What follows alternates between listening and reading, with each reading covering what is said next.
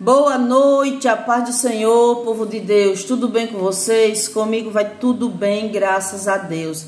Meus amados irmãos, eu quero exaltar, glorificar o nome do nosso Deus por mais uma noite que nós estamos na presença dele, porque todas as noites se tornam especiais quando estamos na presença do Senhor. E estamos, não é? Reverenciando, glorificando a Deus pelas maravilhas que Ele tem realizado na nossa vida, por tudo aquilo que Ele já tem feito na nossa história. E eu quero, meu irmão, minha irmã, aproveitar esse momento para trazer essa palavra que Deus fez aqui arder no meu coração, para trazer nessa noite para nossas vidas, neste, neste momento de oração nosso. Que Deus tem se encontrado, tem, tem, tem se encontrado e trazido aqui um direcionamento você tem olhado aí para a esquerda, você tem olhado para a direita, você tem olhado para todo lado, não tem conseguido entender qual o caminho que você deve seguir, qual é a resposta para você. E essa resposta, quando vem, não é aquilo que você esperava, não é aquilo que você almejava, não é aquilo que está lhe dando uma direção, porque você não está entendendo nada, não sabe o que deve seguir, como deve fazer. E isso tem te trazido uma grande angústia, isso tem te trazido uma aflição para o teu coração. A tua alma tem se encontrado inquieta por conta disso. Mas o Senhor, Ele manda dizer nessa noite, diante disso que você está passando, diante desta situação difícil que você está enfrentando, diante deste impossível, porque para você é impossível, que tudo isso que está se levantando, você tem que fazer como o salmista fez aqui no Salmo de número 18, no verso 6, que diz: Na minha angústia invoquei ao Senhor e clamei ao meu Deus. Aleluia. Na minha angústia eu clamei ao meu Senhor. Aleluia. Do seu templo ele me ouviu, ouviu o meu clamor e chegou até os seus ouvidos. Aleluia. Você está entendendo? Olha só o que Deus manda nessa noite dizer para você. Ele manda falar diante desta palavra, dentro dessa palavra, que dentro dessa também situação que você está aí vivendo, diante desse, dentro dessa impossibilidade que você está enfrentando, aprenda a clamar ao teu Deus. Porque às vezes a gente se angustia, se angustia, se angustia, se angustia, pede a todos e a sua voz Deus não está ouvindo. Não porque ele, ele fechou os ouvidos para você, mas porque você esqueceu que você tem que clamar. Muitas das vezes a gente está com o nosso coração apertado, nós pegamos o telefone, ligamos para quem não devíamos, falamos do nosso problema para quem a gente não devia falar e esquece de dobrar os nossos joelhos e falar com o dono do milagre. É exatamente quando você não sabe que caminho tomar, quando você não sabe que direção seguir, quando você não sabe para onde você deve se direcionar, que você deve abrir a sua boca e começar a clamar. E Deus vai te mostrar qual é o caminho que você deve passar. Deus tem prazer em revelar a você diretamente o caminho que você deve fazer, o que você deve decidir. A Bíblia diz que o povo de Israel se encontrou diante do Mar Vermelho. Atrás vinha Faraó, do lado tinha as montanhas, na frente tinha o mar. Eles não sabiam que caminho eles deveriam prosseguir. Eles não sabiam por onde eles deviam passar. Eles nem sequer sabiam o que eles deveriam fazer. Mas a Bíblia ela diz que naquele momento eles começaram a clamar ao Senhor e o Senhor lhes deu direcionamento. Ele ordenou Deus que Moisés estendesse a sua vara sobre o mar. E quando isso aconteceu, o Senhor começou a abrir caminhos para o povo de Deus passar.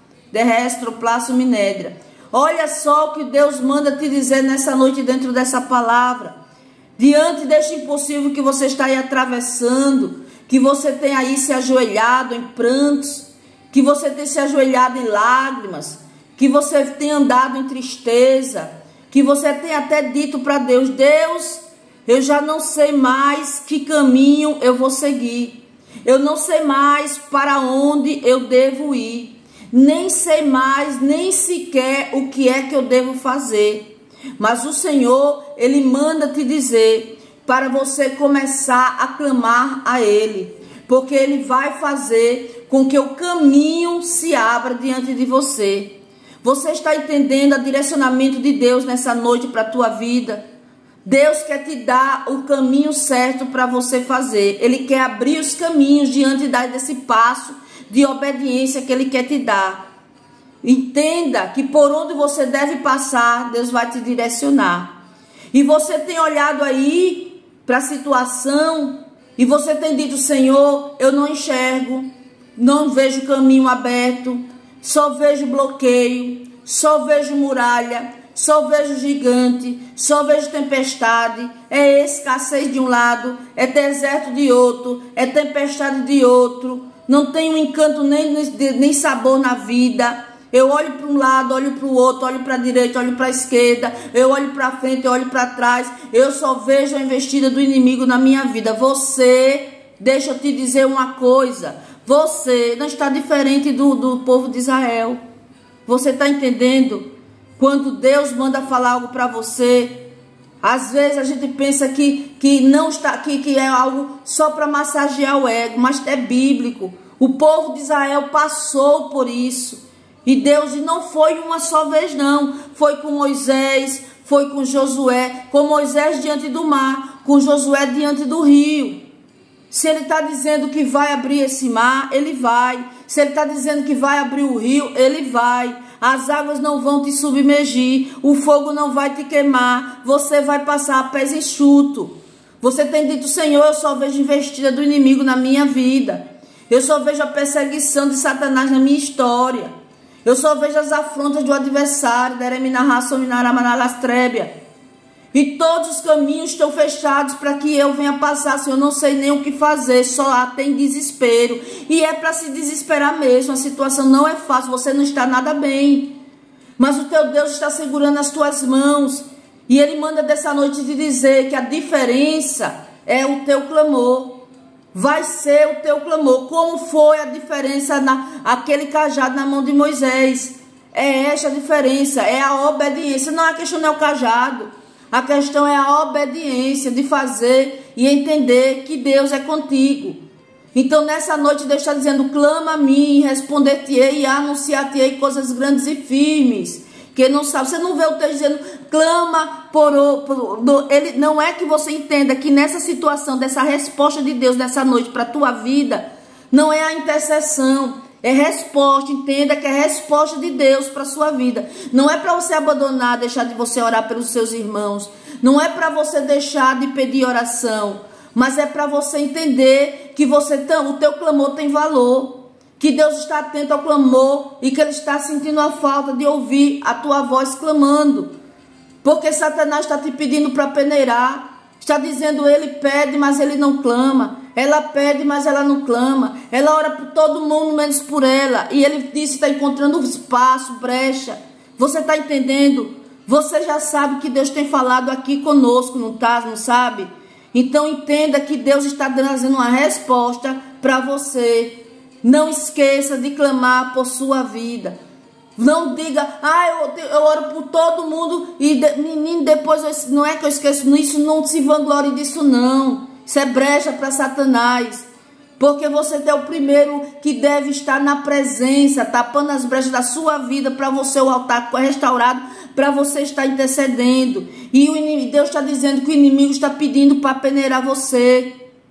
É o seu clamor que Deus quer. Ah, você vai abrir a boca você vai clamar, você vai fazer o que, estou te, o que os Deus está mandando te dizer para você, você dar esse passo de obediência. Você, nesta oração dessa noite, você vai clamar. Você vai abrir a boca, você vai buscar a Deus, vai, Deus vai te direcionar, é a você que Ele vai falar e você vai tomar a atitude certa, você vai tomar a decisão certa, você vai fazer a escolha certa, porque o teu Deus ele vai abrir o caminho para você passar de restroplácio. Deus manda dizer que os inimigos não irão te alcançar, Porque no meio deste mar, Deus vai abrir caminho e você vai passar por, por esse caminho aí que ele vai abrir a pés enxutos. Observe que ele abre o mar, mas quem passa é você. Então lembre de ter atitude também aos é, passos de obediência. Quando eu digo que é passos, é passos, meus amados. A gente está no desespero e pede o Senhor, o Senhor abre o mar. E a gente não é só para dizer que lindo, que coisa extraordinária. Não, passa. O inimigo está vindo com fúria. Está com a boca aberta, o leão está buscando a quem possa tragar. Passa, passa pés enxutos. Eu estou descalço, é descalço mesmo. Passa. Deus manda te dizer que nem sequer, aleluia, nada, nada, nada vai ficar no seu pé. Nenhum vestígio, vestígio aí da investida do inimigo vai ficar na tua história. Deus, ele vai abrir um caminho para você passar. Você está entendendo? Você tem pedido, Senhor, abre esse caminho, abre essa porta, abre, Senhor. Aleluia, um novo caminho, uma nova trajetória para minha vida, um novo direcionamento para que eu possa prosseguir. Você tem pedido a Deus e Deus manda dizer para você: Eu irei abrir caminho no meio do mar. E o inimigo não vai entender porque eu vou te fazer passar de pés enxutos. Eu vou te fazer passar da eremina raça minácia, aleluia, a pés enxutos e de cabeça erguida. Eu vou te fazer passar glorificando. Vai ter gente que vai olhar e vai dizer: Mas o mar vermelho, ele está enfrentando essa tempestade que ela está enfrentando, esse mar que ele e ela está aí enfrentando é tão grande. Como é que pode estar cheio de fé? Como é que pode ainda estar orando? Como é que ela pode? Como é que ele aguenta estar cheio de fé? É porque você vai estar caminhando, dando passos de obediência. É porque você está clamando. É porque você vai caminhar e passar no meio do caminho que Deus vai abrir para você. Então não entristece o teu coração porque essa é a estratégia de Satanás nesses últimos dias na tua vida. Faça como salmista e declare: Na minha angústia invoquei ao Senhor, clamei ao meu Deus. Desde o seu tempo ouviu minha voz e os seus ouvidos chegou o meu clamor perante a sua face. Na tua angústia, é nesse mesmo dia, nessa noite, que você tem derramado lágrimas e vai derramar ainda mas o Senhor está no meio dessas lágrimas contigo. O dia a dia que você tem passado não tem sido fácil, não se findou ainda, mas Deus está contigo e ainda tem. Olha, só basta um piscar de olhos para Deus mudar o quadro da tua história.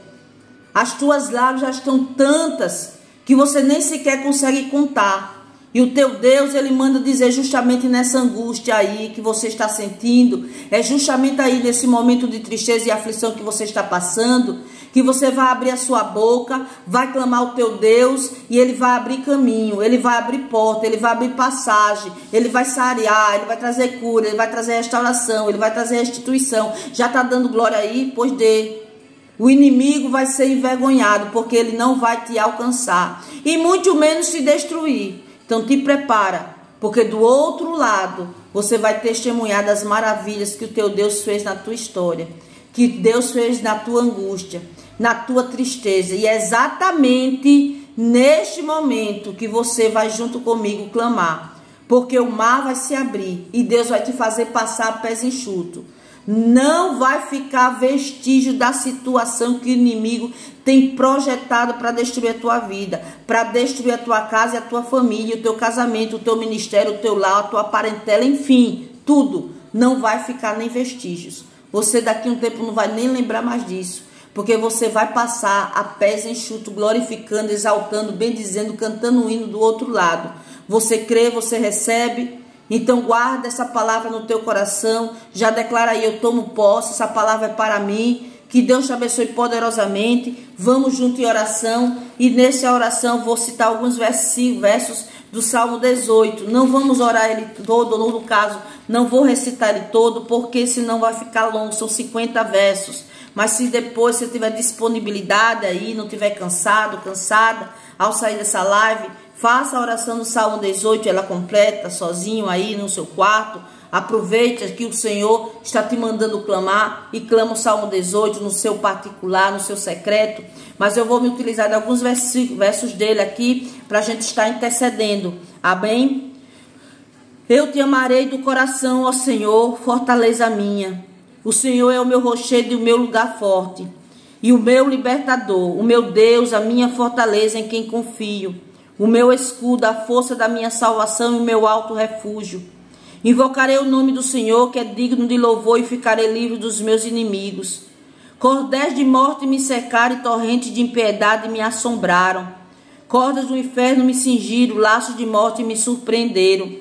Na angústia invoquei ao Senhor e clamei ao meu Deus. Desde o seu templo ouviu minha voz e aos seus ouvidos chegou o meu clamor perante a sua face. Senhor, em nome de Jesus Cristo, meu Pai, Deus de poder, Deus de maravilha, Deus de graça, Deus de glória, Deus eterno, quero te glorificar neste momento e te exaltar, te bendizer, tu és o dono da vida. Queremos, ó Pai, clamar, meu Pai, a ti, ó Pai, porque o Senhor nos criou. Clamar, meu Pai, para que aquele, ó Pai, que nos ama, que nos guarda, que nos sustenta, nós nos colocamos perante a tua presença agora neste clamor para te pedir perdão pelos nossos pecados, nossas falhas, nossas dívidas, nossos pensamentos. Perdoa tudo que temos falado, praticado, feito que fere a tua santidade. Clamamos, ó Pai, juntos aqui, unidos em uma só voz, em uma só oração, para que o Senhor venha visitar cada um com teu poder, cada ovelha, cada escrito, cada ouvinte desta oração. Que o Senhor possa visitar com tua graça, meu Pai, cada membro, cada ofertante deste canal com a tua bondade, fortalece este homem, esta mulher. Entra com providência na vida dele, na vida dela. Fortalece esta casa, fortalece esta vida, fortalece a vida desta pessoa, fortalece, meu Pai, a vida deste homem. Que o Senhor venha visitar, meu Pai, este homem, esta mulher. Que o Senhor venha visitar esta família. Que o Senhor venha visitar, meu Pai, este irmão, esta irmã. Visitar esta pessoa. Carro de entrega derramando de bênçãos. Que o Senhor, meu Pai, venha derramar de graças. Essa pessoa, Pai, que está carregando o Senhor tantos problemas, carregando, meu Pai, tanta dificuldade. Essa pessoa que chega momentos que parece que ela vai dar, meu Deus, uma estafa. Parece que chegou um momento, ó Pai, que essa pessoa vai ter que gritar, vai ter que clamar, vai ter que se derramar diante do Senhor, porque o Senhor é maravilhoso, o Senhor é Deus de poder, e só o Senhor pode executar coisas maravilhosas na nossa vida. Toca na vida, meu Pai, deste, dessa família, em cada membro. Toca neste lar, na cada pessoa. Toca neste lar, nesta família. Toca, meu Pai, neste jovem, nesse rapaz, nessa moça, nesse adolescente, nessa criança. Tira a rebeldia, tira a agressividade. Tira, meu Pai, tudo aquilo que não provém de Ti. Estende, Senhor, o teu manto sagrado sobre a vida desse homem, dessa mulher. Ajuda a todos que estão orando conosco. Ajuda a cada ovelha, a cada inscrito, a cada membro, a cada ofertante desse canal. Visita esta família, visita esta casa, visita este lar. Toca na tecla da necessidade, abençoa o canal Rosa Marcos, o Rosa Marcos Oração. Que sejamos canais de bênção na vida de outras pessoas. Meu Deus, já dá o pequeno e o grande livramento que vemos e o que não vemos, mas que o Senhor conceda e nos abençoe, porque nós cremos que recebemos todos os dias. Se estamos de pé, o Senhor que nos guarda. Se estamos de pé, o Senhor que nos livra. Se estamos de pé, as tuas misericórdias. Se estamos de pé, meu Pai, aleluia, é o Senhor que está conosco. Então brilhe em nossas vidas, resplandeça a tua glória, arde nossos corações através do Espírito Santo. Em nome de Jesus Cristo, visita cada irmão, cada irmã. Remove impedimento que tenham para se levantar nas finanças. Remove impedimento na saúde, no relacionamento, no casamento, no ministério, na vida espiritual e na vida amorosa. Que o Senhor possa abençoar as nossas vidas. Que o Senhor possa abençoar este homem, esta mulher. Não deixa nós andarmos sozinhos, não, Senhor. Porque sozinhos nós tropeçamos e caímos. Sozinhos nós cometemos erros.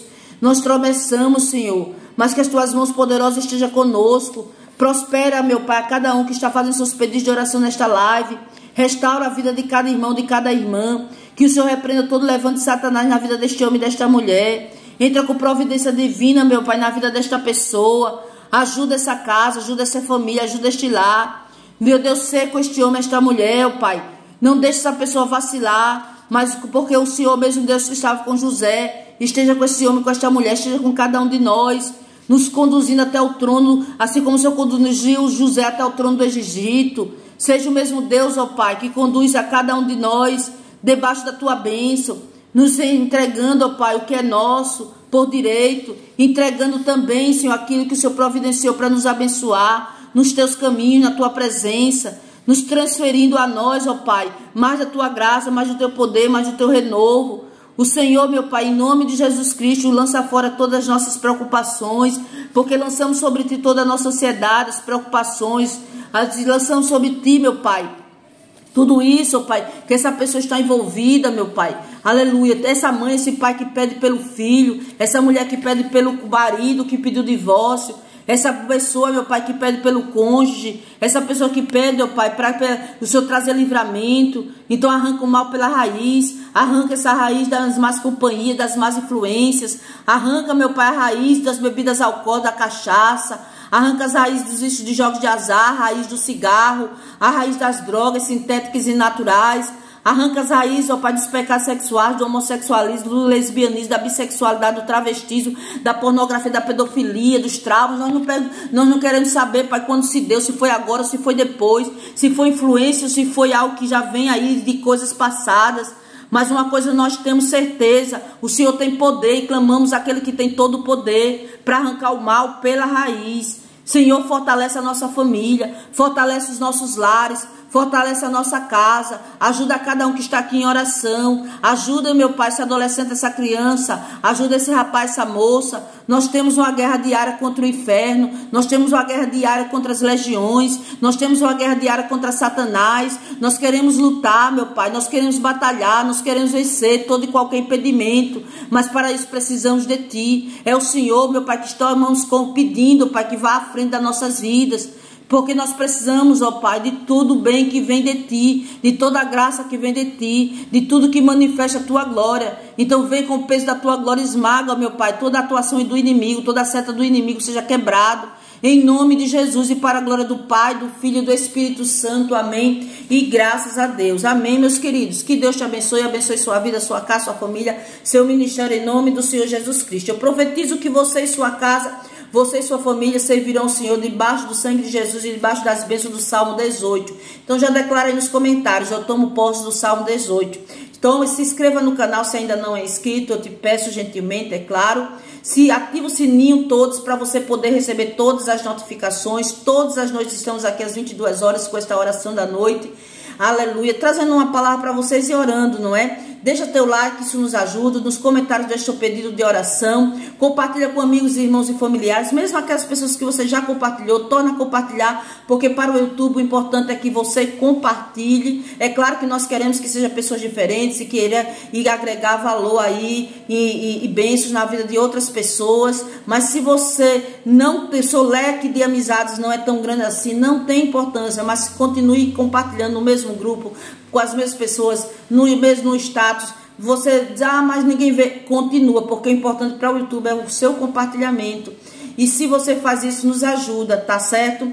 Se, é, se você tem voto, proposta, oferta de amor que queira nos abençoar, nos ajudar a fazer a obra, está fixado na live a Pix, na descrição do vídeo Pix e o número da conta que você nos envia é benção e nós louvamos. Muito obrigado por sua audiência, por você compartilhar, por você se inscrever, por você estar conosco, pelas suas ofertas, pelas suas bênçãos, por tudo que você faz e está comigo aqui. Tenho, tenho palavras, pelas orações. Meus amados, muito obrigado pelas orações orações, pelas intercessões, por vocês orarem por minha vida, por minha casa, por minha família, por nosso ministério, uns pelos outros, porque aqui ficamos, se você é novo por aqui, já entenda que ficamos combinados assim. Eu oro por vocês, mas vocês oram por mim e oramos uns pelos outros, porque é assim que o Senhor nos abençoa, não é verdade? Então que Deus te abençoe poderosamente. Um forte abraço, ó. Beijo está lá no seu coração e até o próximo vídeo.